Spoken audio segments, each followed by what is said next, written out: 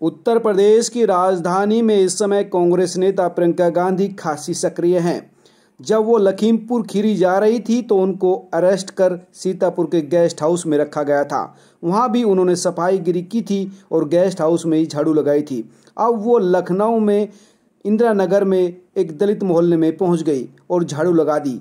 दरअसल उनके झाड़ू लगाने पर बीजेपी ने कटाक्ष किया था उन्होंने कहा था कि प्रियंका गांधी को उत्तर प्रदेश की जनता ने सिर्फ़ झाड़ू लगाने लायक ही समझा है, इसलिए झाड़ू लगा रही हैं। इसके जवाब में प्रियंका गांधी दलित मोहल्ले लवकुश कॉलोनी में पहुँच गई और झाड़ू लगाई और साथ ही उन्होंने वहाँ पर दलितों को संबोधित करते हुए कहा कि ये मेरा नहीं, आपका अपमान है, क्योंकि झाड़ू दलित लगाते हैं।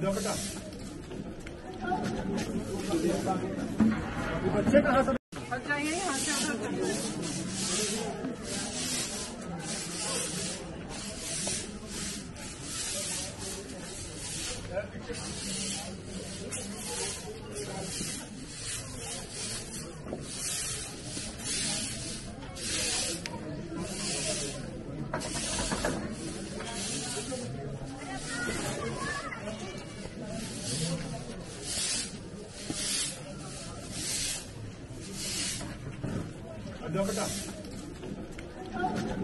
चलिए। हट जाइए उत्तर प्रदेश की जनता ने सिर्फ़ झाड़ू मारने लायक छोड़ा है और अपमान किया है आपका।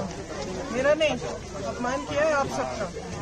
क्योंकि हज़ारों करोड़ों महिलाएँ, करोड़ों दलित बहन भाई, ये सफ़ाई कर्मचारी हैं और करोड़ों लोग सफ़ाई का काम करते हैं, अपने घरों में सफ़ाई करते हैं। तो मैं यहाँ इसलिए आई हूँ, आपके